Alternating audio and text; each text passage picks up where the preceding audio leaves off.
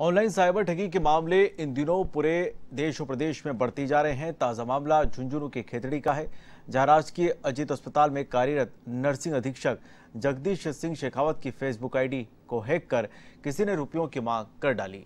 इस दौरान जगदीश सिंह शेखावत के पास उनके दोस्त और परिजनों के फ़ोन आने शुरू हो गए।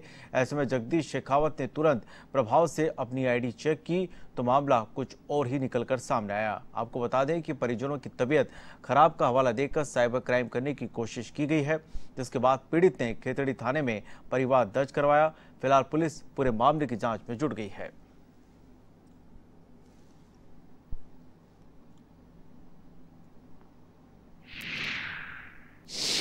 जगदीश सिंह जी अजीत हॉस्पिटल में कंपाउंडर के पद पे कार्यरत हैं।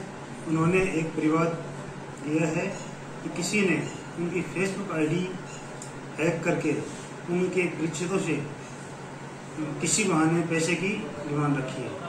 इस परिवार पर जाँच की जा रही है और लोगों से मेरी अपील है कि ऐसे भ्रामक जो मैसेज आते हैं सोशल मीडिया पे